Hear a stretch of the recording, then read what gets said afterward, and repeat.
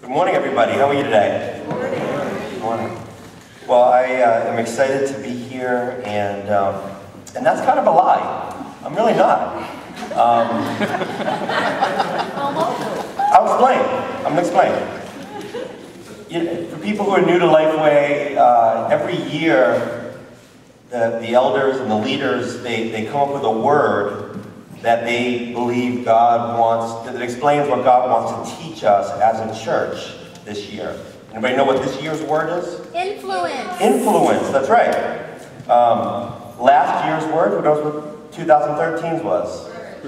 Was flourish, right? Flourish. I believe the year before that, the word was empanadas. Um, so if you don't know what empanadas are, just to see the sauce, I recommend that, and that's a, that's a good thing. Uh, a couple of years ago, probably two and a half years ago or so, I was reading through 1 Samuel, and it was as if God gave me a word. I put a word on my heart very strongly, sort of in the same way. And it's been a couple of years and it hasn't gone away. And the word was courage. And that terrifies me because I don't want to teach on courage. Because whatever you teach on, God tests you on. And that's sort of like there's some things you don't want to be tested on. You don't want to be tested on patience. How many people here has God tested you on patience using me to test you on patience? My wife has her hand way up. Um, courage is not the type of thing that I want to be tested on. So I hope that it went away. But as I kept reading the scriptures, I kept getting that same word back courage, courage, courage. And I did not have the courage to ask Juan uh, for permission to, to teach on courage. But then we started in 2014 to, uh, to read through the Bible chronologically. Now, how many people are, are doing that? Okay, good. Even if you're not, put your hand up and you can lie. Yeah, we're all doing it, right? And it's, it's been a blessing. People who are lying, yeah, well, it's been a blessing. Go through chronologically. It's been great. Yeah, I didn't know what you were talking about. Um, and as we started getting closer to 1 Samuel, that first passage where I first saw courage so strongly, I felt the prompting of God to say, Mark, it's time to teach on courage. Now, I've been seeing it all over the scriptures, but something about 1 Samuel 17, that's where, I, where God really first showed it to me. And so I went up to Juan and asked him if, if I might, if he would, might consider having me to come and preach on courage. 1 Samuel 17, and I was hoping he'd say no, but he didn't. He said yes. So um, um, it's, it's with great joy that I'm here to teach, um, and God help me because I, I really don't want to be tested on this. But as my wife pointed out to me, we have been tested on courage quite a bit uh, over the last few years, just in the ministry that we have uh, in, on the streets. We've seen a greater uh, presence of, of, police activity. We've seen a, a greater um, resistance to the gospel proclamation, even though the proclamation is given in a loving manner. We've seen uh, a hardening of uh, reception. And there have been times where courage has been required, uh, supernatural courage. So with that, it's, it's my, privilege, my privilege and pleasure to bring this to you. I, I, have a very simple passage to bring, one that, that is certainly familiar to, to anybody who certainly is a Christian, one that's familiar to people even who don't know the Lord. Uh, 1 Samuel 17, if you have your Bible, please uh, find your way there. It's about halfway through the Old Testament. Uh, the Old Testament has, has much to speak to us. We don't call it the Old Testament because it's, it's useless. It just is older, that's all. Um, there are lots of things that are older that are useful. I, I give you Bob Crab as an example. Because I love you. Because I love you. Okay. so First Samuel is, is, you'll find your way there. And this is a passage, it's David and Goliath, right? Everybody knows, everybody knows about David and Goliath, right? Uh, you know, you don't have to, even, even if you don't know the Lord as your Savior, even if you, you come from an environment that's not very biblically literate, most of us know about David and Goliath. Perhaps you've seen uh, Larry the Cucumber and Bob the Tomato acted out in Junior Asparagus, and however it means. This is not a, an uncommon passage, but what I hope today is that we'll find something uncommon about it. So if you uh, open up to 1 Samuel 17, Matthew project the first verses of that, I appreciate that. Read along with me, 1 through 11. The Philistines, but understand, okay, I'm going to stop you here. The Philistines were the enemies of God at that time. They were much stronger than the Israelites. God's people were the Israelites. The Philistines were uh, often subjecting them to, to slavery and to uh, different persecutions. And so these were, that's, the, that's the historical context here. Now the Philistine now mustered their army for battle. I love that word. They mustered their army for battle. I, I, have, I have a charge for all of you. I want you to all try in a sentence this week to use the word muster. That's a great word. So they mustered their army for battle in camp between Succoth in Judah and Azekah at Ephes Damim.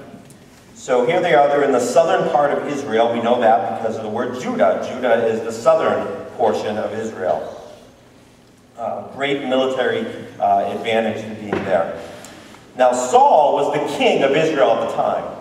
So Saul countered by gathering his Israelite troops near the valley of Elah so the Philistines and Israelites faced each other on opposite hills with the valley between them. So you have the Philistines on one side, the Israelites on the other. There is a valley in between. This is a tense situation. Tension in the Middle East is, is not a new thing. Then Goliath, a Philistine champion from Gath, came out of Philistine ranks to face the forces of Israel. He was over nine feet tall. He wore a bronze helmet, and his bronze coat of mail weighed 125 pounds. 125 pounds! Just the, the, the chain mail that he wore. He also wore a bronze leg armor, and he carried a bronze javelin on his shoulder. The shaft of his spear was as heavy and thick as a weaver's beam. You know, how did it get hit by one of those? tipped with an iron spearhead that weighed 15 pounds. Now, this is just the beginning of the Iron Age. We have the Bronze Age and the Iron Age. So it, the, the scripture says that his spearhead was made of iron. This is the new stuff. This is like, you know, top technology here. Wow. He had an iron spearhead that weighed 15 pounds. Who wouldn't want to, that's the spearhead. I wouldn't want to be hit by one of those. His armor bearer walked ahead of him carrying a shield. So a lot of times when you see David and Goliath, you got David on one side, you got Goliath on the other, but that's not a complete picture. He had another dude in front of him. He had a, a shield bearer just to hold the shield. Okay, so you got two guys there. One guy with a shield and Goliath, nine feet tall. There's different speculations about maybe what kind of conditions he might have had to, to make him that tall. That's not the purpose of, of today's sermon, but certainly uh, we can talk about that uh, offline if you like. But he's, uh, he, he's a big dude, and he had other people with him. Goliath stood and shouted a taunt across to the Israelites. Why are you coming out to, why are you all coming out to fight? He called. I am the Philistine champion, but you are only the servants of Saul. Choose one man to come down here and fight me. If he kills me, then we will be your slaves. But if I kill him, you will be our slaves. I defy the armies of Israel today. Send me a man who will fight me. When Saul and the Israelites heard this, they were terrified and deeply shaken. Yeah, you think? You think? Terrified and deeply shaken. I would be too. I would be too. And this happened for 40 days. 40 days. Imagine every single day Goliath would come and taunt. And I wonder if that wasn't the worst part, being taunted by a Philistine in the name of other gods. Now, Israel was a military monarchy. So a little bit of test here. Whose job is it in a military monarchy where you have a king? Who is the head champion? Whose job is it to go out and defend Israel? The king, that's right. Whose job is it? When Saul comes, will someone send a champion? That's easy. Hey Saul, it's dude, you're up. You're the king. You're God's chosen one. And if you read in, in 1 Samuel, Saul's no slouch. He's, no, he's not some wimpy guy. He was strong. He was mighty. That would have been a good fight. Maybe he could have even done it. That's his job. But instead, he spends 40 days cowering like a junior high girl. I knew I'd get in trouble for that one. No disrespect to my daughters.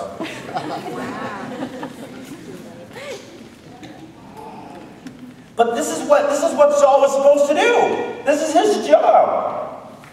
This is God's man. God set him up for this. This is your this is your chance, Saul. And he didn't do it. So now we enter David. Who's David? We'll talk about him in a moment. Um, David was uh, so small and young that he wasn't even old enough to go to battle. His, his brothers were older. They were at the battle. And so David's father said, you know what, just, I want to know what's going on, and I want to send them some food and some extra stuff. So David, you, your job is to just bring the stuff to them. I mean, he was so, you know, so young that he wasn't one of the, one of the soldiers. So he went to the front, he went there, he traveled, brought some uh, provisions, and he saw what was going on. And he saw this champion taunting the armies of Israel, taunting the God of Israel, the God of Abraham, Isaac, and Jacob. And I love in verse 26, David asked the soldiers standing nearby, because he saw what was going on. So he says, Hey, soldiers, he goes, uh, What will a man get for killing this Philistine and ending his defiance of Israel? What did David want? He, wanted to know, this defiance, is, it's going to stop. This is over. And then, this is one of my favorite verses in all of Scripture. He says, Who is this pagan Philistine anyway, that he is allowed to defy the armies of the living God? In other translations, it says, Who is this uncircumcised Philistine, that he is allowed to taunt the armies of the living God? I love that. Goliath called himself a champion. You know, the words we, we give things have, has power. But what we believe about things. What did Goliath believe about himself? He thought he was a champion, right? What did Saul think about Goliath? Well, you could tell by his actions. Remember? The, you know, he's little middle school girl in the 40 days crying in the fetal position. He thought Saul, certainly Goliath was a champion. Did David call him a champion? No. What did he call him? An uncircumcised Philistine. Who is this uncircumcised Philistine? And in verse, uh, if you could project verse 31, then David's question was reported to King Saul. So people start talking about this. I guess, you know, it's pretty easy for word to get around when you're all huddled together like scared little chickens, right? Then David questioned the report to King Saul, and the king sent for him. Don't worry about this Philistine, David told Saul. I'll go fight him. Can you imagine? This kid who wasn't even big enough or old enough to be in the army, he says, I'll fight him. Don't be ridiculous, Saul replied. There's no way you can fight this Philistine and possibly win. You're only a boy, and he's been a man of war since his youth. But David persisted. I have been taking care of my father's sheep and goats, he said. When a lion or a bear comes to steal a lamb from the flock, I go after it with a club and rescue the lamb from its mouth. If the animal turns on me, I catch it by its jaw and club it to death. I have done this to both lions and bears, and I'll do it to this pagan Philistine too. I love that. I'll do it to this pagan Philistine too. For he has defied the armies of the living God. The Lord who rescued me from the claws of the lion and the bear will rescue me from this Philistine. Who's going to rescue David? That's right. Is it because David saying, I'm, I'm so strong, I'm stronger than Goliath? No. It's all about God. He's so Christ-centered. Saul finally consented. All right, go ahead, he said. And then he said one smart thing. And, the, and may the Lord be with you. Then Saul gave David his own armor, the, the armor of the king of Israel. Wow. A bronze helmet a coat of mail. David put it on, strapped the sword over it, took a step or two to see what it was like, for he had never worn such things before. I can't go in these, he protested to Saul. I'm not used to them. So David took them off again. Imagine that. You're given the armor of the king. This is, this is the best. And you say, I, I can't, I'm not, I'm not wearing this. So David took them off again. He picked up five smooth stones from a stream and put them into a shepherd's bag. Then, armed only with a shepherd's staff and a sling, he started across the valley to fight the Philistine. Can you imagine walking down the valley, the valley of Elah? Goliath walked out toward David with a shield bearer ahead of him, sneering in contempt at this ruddy-faced boy. Am I a dog, he roared at David, that you come at me with a stick? And he cursed David by the names of his gods. He cursed him by the name of his gods. Come over here, and I'll give your flesh to the birds and wild animals, Goliath yelled. And David replied to the Philistine, You come to me with sword, spear, and javelin, but I come to you in the name of the Lord of heaven's armies, the God of the armies of Israel, who you defiled. Today the Lord will conquer you, and I will kill you and cut off your head. And then I will give your dead bodies to the men and the birds and wild animals, and the whole world will know that there is a God in Israel. And everyone assembled here will know that the Lord rescues his people, but not with sword and spear. This is the Lord's battle, and he will give you to us. That's pretty brash stuff, don't you think? Wow. You got one champion cursing and calling on the name of his false gods, and you have another one calling on the name of the Lord. As Goliath moved closer to attack, David quickly ran out to meet him. Did he catch up? He quickly ran out to... Notice the contrast between King Saul and King David. Well, not, I'm sorry, between David and King Saul. Where King Saul quickly ran away from Goliath, David quickly ran towards him. Reaching into his shepherd's bag and taking out a stone, he hurled it with a sling and hit the Philistine in the forehead. Now, we have to be careful not to get our theology from VeggieTales or from Precious Moments Bible. I love the Precious. Who doesn't love the Precious? It's so cute, right? But this is a violent story. How many of us think, and I won't say from a show of hands, I don't want to embarrass anybody, but you know, how many of us think that Goliath got killed by getting hit with a stone in the head? Okay. Probably a bunch of you think that, right? And those of you don't, liars. Okay. But no, watch what the text says. This isn't good. This doesn't play well in the Precious Moments Bible. Okay? The stone sank in and Goliath stumbled and fell face down on the ground. That's not what killed him. So David triumphed over the Philistine with only a sling and a stone. For he didn't even have a sword. Then David ran over and pulled Goliath's sword from its sheath. David used it to kill him and cut off his head. So what killed Goliath? His own sword, the, the sword that he was trusting in. So it wasn't, it wasn't the rock that killed him, it wasn't the fall that killed him. His own sword. David cut off his head. Draw that, put it on the wall of your kid's bedroom. Isn't that nice? nice Bible story there. But this is God's word. This is God's word. And I, have I've heard this passage preached many times. Um, I've been to the valley of Elah myself in Israel. I picked up a stone. I'm not certain, but I'm fairly confident that the stone that I picked up was actually the one. Why not? Um, but it is, it's a neat place. It's definitely a valley there. This is a historic event that happened. And a lot of times this, this story is taught as be courageous, overcome your fear, and you can conquer giants. I'm not going to teach this, this message that way. There's not some truth to that. But I think that 1 Samuel 17 really needs to be taught. The key to understanding it is by reading 1 Samuel 16. See, something happened one chapter before. And I want to point that out to you.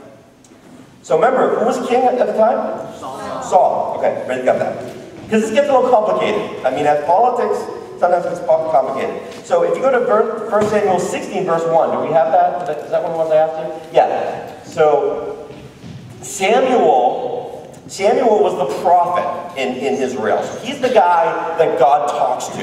If you want to know what's going on, you go to Samuel. God talks directly to him. And, and, and, it's his job to do sacrifices and to, and to, give the word of the Lord to the people. So that, that's Samuel. So this gets a little confusing. So I want so that's it. You got that. Samuel got it. That's who that is. And one of the things that Samuel did was God used Samuel to pick Saul as king. And, and Samuel, sometime in the past, made Saul the king. Now you got Saul. He is the king. Samuel made him the king. But he was not a good king. He, he did not trust in the Lord with his whole heart. In fact, the Lord uh, would actually remove his, the kingdom from Saul. His son would never be king. Normally your son becomes king, then his son becomes king. And there's a lineage there. This is what going to happen with Saul, because he was a bad king. So let's go to one chapter before David defeats Goliath. This is what happened. Now the Lord said to Samuel, You have mourned long enough for Saul. I have rejected him as king of Israel. Okay, now sometimes the Bible's hard to understand. It can be confusing. So I'll read that again. You have mourned long enough for Saul. This is because Samuel was sad, because, because Saul was such a horrible king, and he was doing such horrible things, and it grieved him. Does it grieve you when you see people do horrible things? So God says, you know, you, you, you mourn long enough. I have rejected him as king of Israel. In the original Hebrew, what that means is that I have rejected him as king of Israel. Okay, so everybody gets that. Okay? Is complicated stuff. Okay? God himself says, I don't want Saul to be king any longer. I have had enough. How many of you know that God is long-suffering, patient? But that doesn't mean that his patience goes on forever. So fill your flask with olive oil and go to Bethlehem. Find a man named Jesse who lives there, for I have, I have selected one of his sons to be my king. So God is saying, you know what? I want a new king. This is we're going to do a do-over here, a reboot. And I have rejected Saul. I'm going to pick a new king. So skipping ahead in this chapter, I mean, for you know, for the sake of time, um, you're welcome to read it. So Samuel obeys God, goes, he finds Jesse in Bethlehem, and boy does he have some of the, the coolest, strongest, mighty sons that you can imagine. I'm talking about strong, handsome men. If you want to know what a strong, handsome, you know, Jewish man might look like for sake of context, well, you're, you're, you're looking at one. you can see for yourself, you know. And all these, these handsome men, and Samuel says, well, certainly this man has to be the king. He sees the oldest son of Jesse. And God says, nope, not him. Uh, okay. And then the next one comes in. Well, certainly this one's got to be it. Nope, not that. Nope. God says to Samuel, not that one. Well, how about this? Look at this one. Nope, not that one. He sees all of them. And, Samuel must be confused. Like, but God told me to go to see Jesse. One of his sons is going to be. Hey, Jesse, do you have any other sons? Oh, we got one more. We got one more. Um, and he's, he's, he's out in the field. So in verse 11, he said, Then Samuel asked, Are these all the sons you have? Here we go. There is still the youngest, Jesse replied, and he's out in the fields watching the sheep and goats. Send for him at once, Samuel said. We will not sit down to eat until he arrives. So Jesse sent for him. He was dark and handsome, with beautiful eyes. And the Lord said, This is the one. Anoint him. So as David stood there among his brothers, Samuel took the flask of olive oil he had brought and anointed David with the oil. And the Spirit of the Lord came powerfully upon David from that day on. I want you to read that again. And the Spirit of the Lord came powerfully upon David from that day on. Would you repeat that with me? And the Spirit of the Lord came powerfully upon David from that day on. Then Samuel returned to Ramah. And I believe that that is the key to understanding 1 Samuel 17 is that in 1 Samuel 16, right before, David was actually made king of Israel.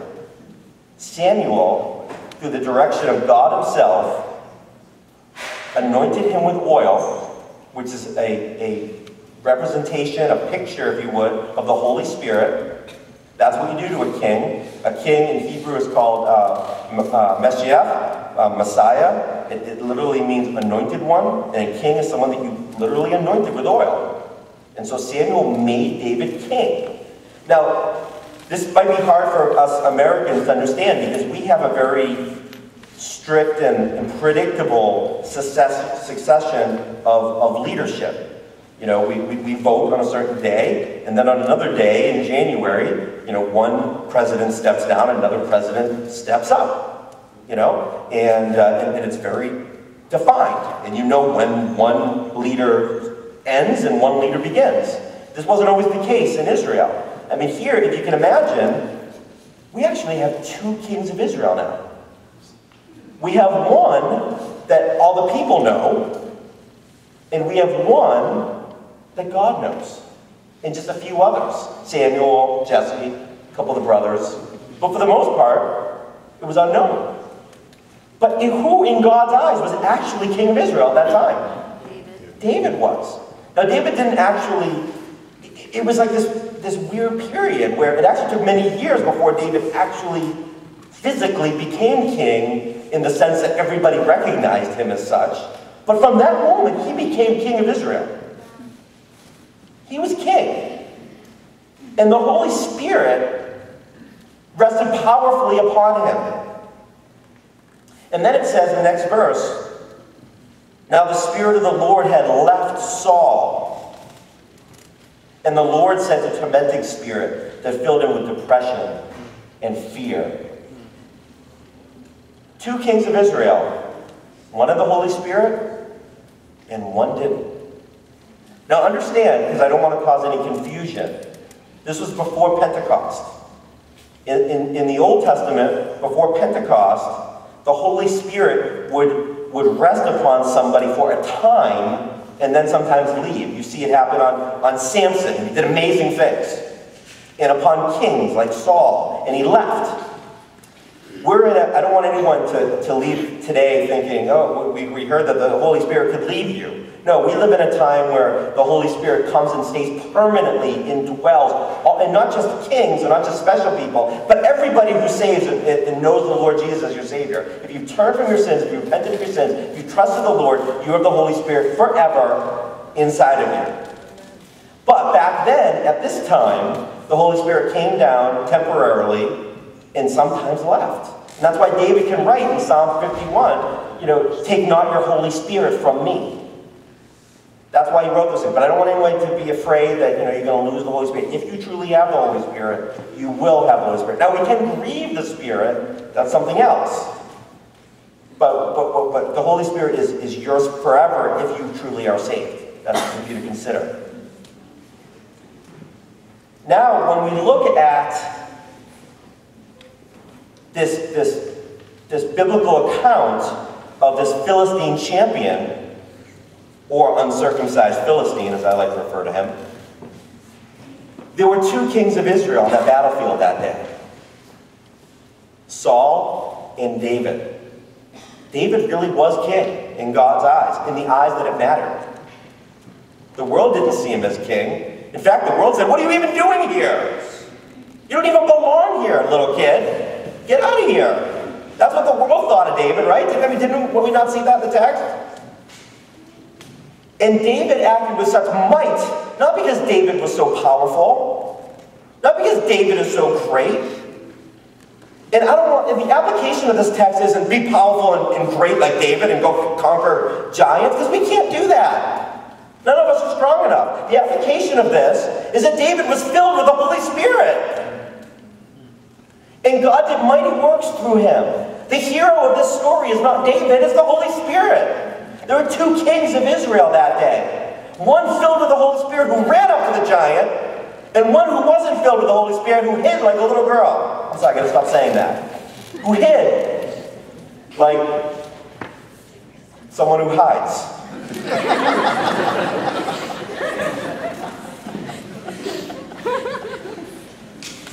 If there are any brothers or sisters here that have a bed where I can sleep tonight, I would appreciate that. I may be in need. There are two kings of Israel on that battlefield. One acted like it, and one didn't. One was filled with the Holy Spirit, one wasn't.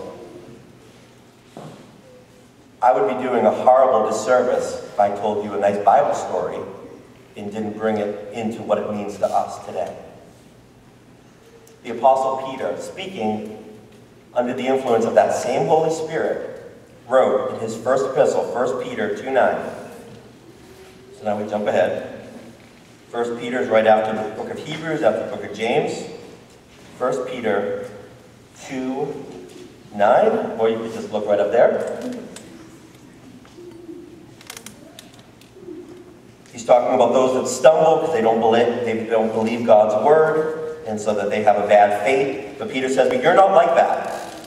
For you are a chosen people. You are royal priests, royal, kingly, royal. You are royal priests, a holy nation, God's very own possession."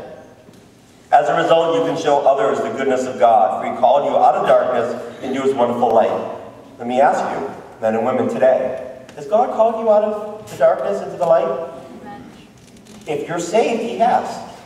If you're not saved, if you don't know the Lord Jesus, if you don't know that right now, if you were to die today, right now, that you would go to heaven definitely with Jesus your Savior, But the message for you is not this. The message for you is you need to come to know the Lord Jesus your Savior.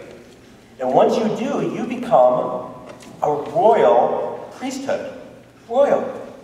You become a king or a queen. Amen. What kind of king are you going to be? Do you want to be a king like David, who was filled with God's Holy Spirit and ran boldly towards the impending doom? Or do you want to be a king that grieves the Holy Spirit? that believes what the world says, that there's a champion that's against me. What about your problems? Just call him an uncircumcised Philistine. Seriously, because you know what you what you believe about something does have influence. You can give something a lot more strength than it has. You can give something a lot more strength than it has. Which king will you be? David, I love David. He was so humble. He could have taken over the army of Israel. When, the, when, when, when back to 1 Samuel, when, when this whole thing ended, um, I didn't intend to say this, so uh,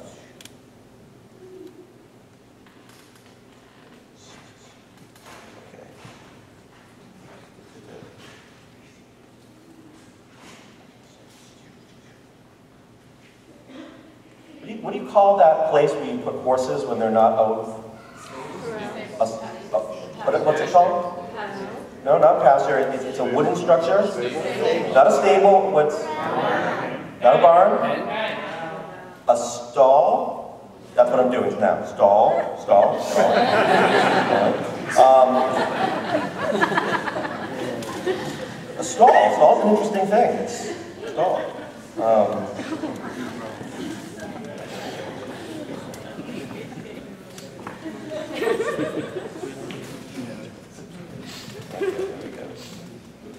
So David cuts off his head. I didn't, so I, didn't intend to share this part, so that's why I'm stalling a little bit.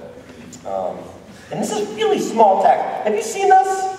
I'm like 40 million years old. It is hard for me to read these, this tiny little print.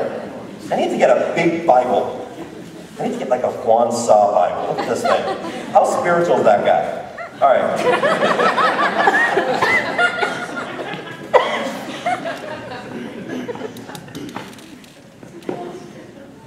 Um, so Dave, David uh, took the, the Philistine's head, and uh, you know, and, and, and, this is really where um, David could have taken over the armies of Israel. He could have made himself king at this point, but instead he said, "I am the son of your servant Jesse." He showed humility to Saul.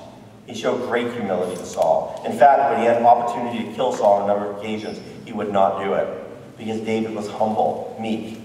Um, but also, David, one of the things I love about David is that he was determined. He ran up towards Goliath, didn't he? Didn't he run up to him? And he was. It's okay to be angry. But we need to be angry, brothers and sisters, about the right things.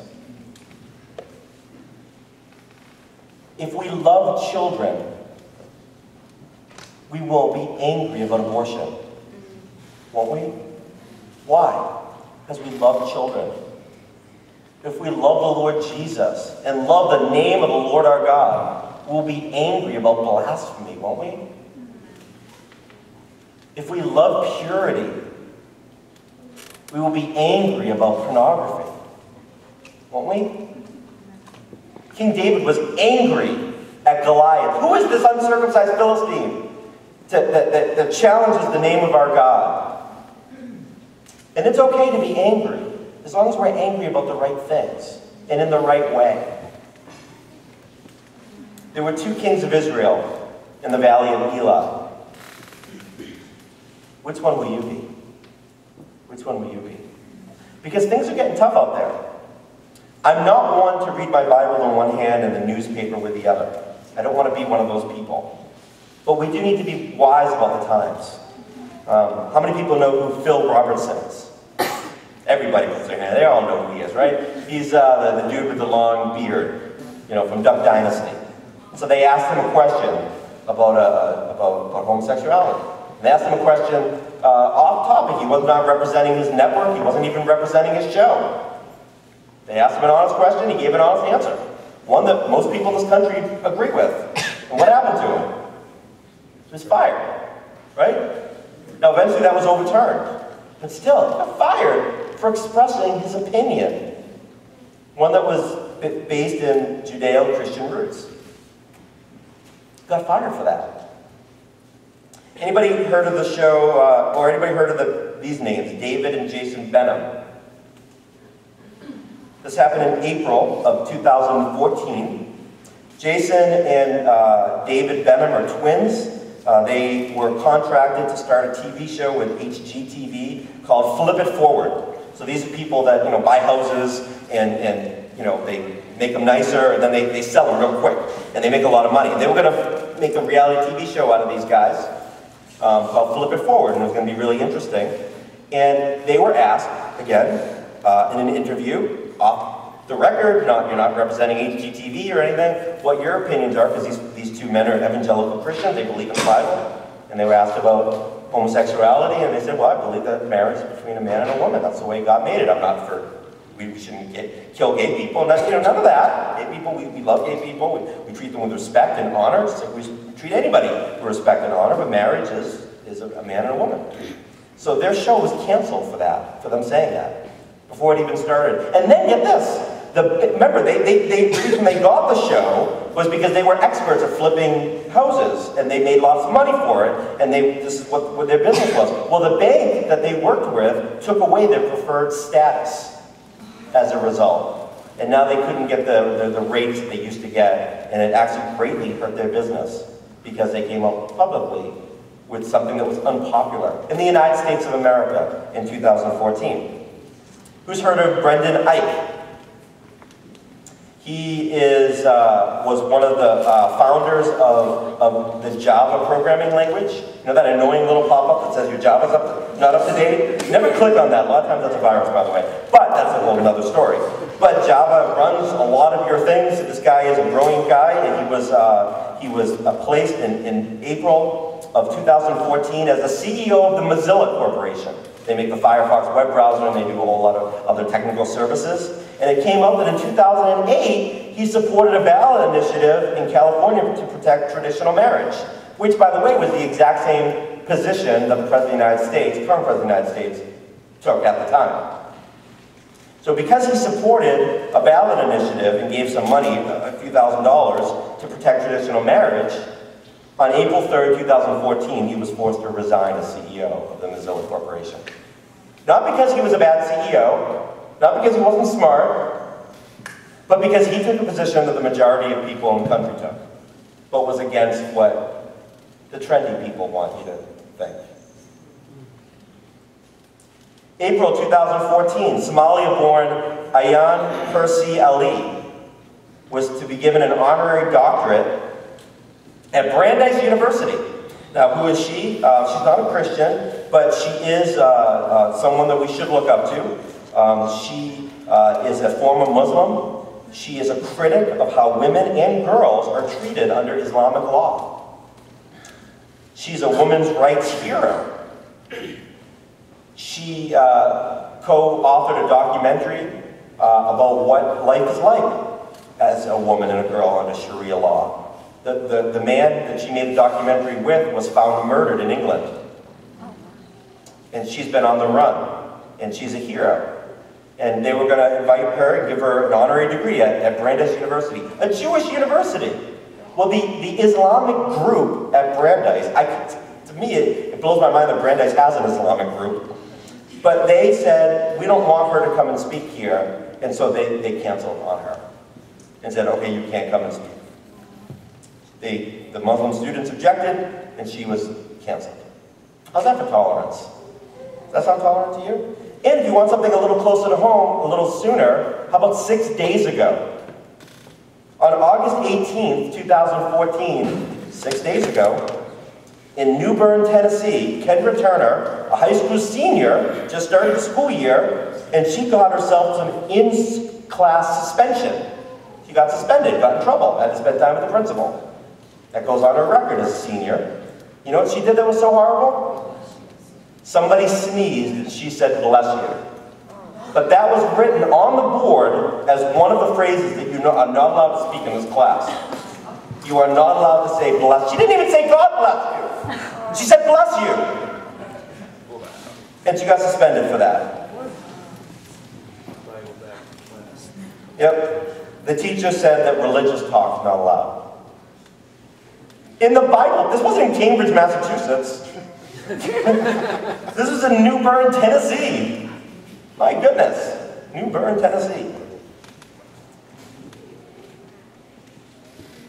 The days are coming, if they're not already here, when we're going to need great courage. It will cost you your job to be a Christian. It might cost you your marriage. It might cost you your career. It might cost you your life. Expect to get arrested someday, soon, for, for sharing the gospel of Christ in Boston. And God help me that I will have the courage that if I am filled with the Spirit, then I can be a king who can do that. What kind of king will you be? Students, will you stand up in your class? I'm not, I'm not saying be a obnoxious jerk. Okay? My good friend Wes Nevis, who actually is here, he said something so brilliant to me. I remember, remember we were driving to Boston together, and he, I'm paraphrasing you, Wes, but he said, you know, if you, if you get persecuted for being an obnoxious jerk, there's no value in that. But if you get persecuted for righteousness, now that's, that's something. You know, we could be an obnoxious jerk about Jesus, and, and we could get persecuted, but we're being persecuted because we're being obnoxious. I'm not saying be obnoxious, but I'm saying we need to stand up. God has called us kings and queens. We are a royal priesthood. What kind of king will you be? Will you be filled with the Holy Spirit? Will you not care even about your life? Will you say to anybody, to the police, that you may kill my body, but the King of Kings and the Lord of Lords, the God of Israel, the one who told the mountains to go this high and no higher, told the valleys to go this low and no lower, and they obeyed, said to the oceans, you may come this far and no further, and took all the stars and said, go all the places that I tell you to go, and I even want you to make pretty designs, and they obeyed, I will obey him. And not you, officer. I'm not saying to disrespect the officers. But when the officers start disrespecting the Lord, who, where does our allegiance go? Who will we go to? Will we see them as champions, Or will we see them as uncircumcised Philistines? I am calling men and women to be courageous. And it's not me that's doing it. Because I'm not that courageous. I'm just a scared little Jewish kid who's not even five foot six.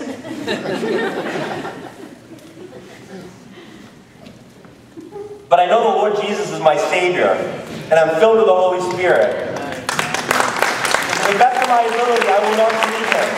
And when I do, I will apologize. Will you do that?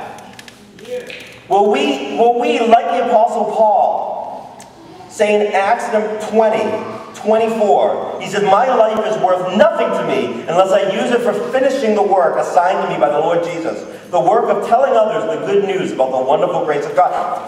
We have a wonderful news. We're not telling people bad news. We're telling people wonderful news. Turn away from your sin. People are walking towards a cliff of a, that falls into a lake of fire. And we are calling people saying, Turn around. Please, I beg you, turn to life. Turn away from that and turn to Christ. And we're calling people, yes, we're calling sin, sin, but we're calling life, life. And turn that. We have good news. And for that, people will say, go away. No one wants to hear your stuff. You're, what are you even doing here? That's what they'll say. But we will stand up. And I, from the, from the, authority of the Word of God, I'm calling all of you out. If you can hear my voice, what kind of king or queen will you be? God wants champions. Not champions like Goliath but champions like David, who was filled with the Holy Spirit, who stood up and said, The King of Kings and Lord of Lords, He reigns. He reigns in my life, and I will not fear him who kills the body, and that's it. But I will fear him that can kill the body and send it to hell. I will fear the Lord my God, and I will serve him with joy. Whatever happens to me does not matter. As long as I can tell people the good news of Jesus Christ. Will you be a king and queen like that? Will you? Please, I beg you, our society needs it, our towns need it, our children needs it, and it glorifies our God. Because we are being called to a time when this is not popular and will be shut out, and we will stand for the Lord Jesus Christ. We will stand for the Lord Jesus Christ and say, To Him we will give allegiance. If you want to be courageous like that, be filled with the Spirit. Be filled with the Spirit. Do not grieve Him. Fill yourself with psalms and, and, and hymns and spiritual songs. And put Him first in your life. And say, My God, I am so afraid, but by you I can, I can, I can do whatever you want me to do. I can do all things through Him who gives me strength. If you want someone to pray for you, come forward. I'm going to end my message now. My message is over. I'm done. This is the message that, that God has put on my heart for over two years to be courageous. If you want to be courageous too, then when this is done, come forward. I'll pray for you. Someone up here will pray for you. We want to be men and women that don't just talk about Jesus, but stand for him and move forward and run towards Goliath. Because the, the, the hero of that story is not David, it's the Holy Spirit. If you're saved, you are a royal king. What kind of king will you be? Dear Heavenly Father, I want to thank you so much for your word. That we can know for sure what you've done in the lives of saints of old. And Lord, we know, based on who you are, that you will be with the saints of today. And I don't know what this world is going to look like. We are not having our, our heads cut off like like Christians are uh, in Iraq. Please bless those, those, those, those poor people that are, that are stuck on mountaintops. But God, our country is, is, is, is heading in that direction. And there is persecution. And it is true, and it is real. And what will we do? So God help us. We are not strong. We are not strong. We're like little Davids, small. We've got stones. We don't even have a sword like David. But by you, God, we can do amazing things. Because it is you who fight for us. And it is you who gets the glory. I thank you, God, that you've made us royal ambassadors, royal priests. I pray, God, that we'll be good kings. We'll be like David. and not like Saul. Will you rise up this generation, please, and bring revival? In the name of the Father, in the name of the Son, in the name of the Holy Spirit. Amen. Thank you, and God bless you.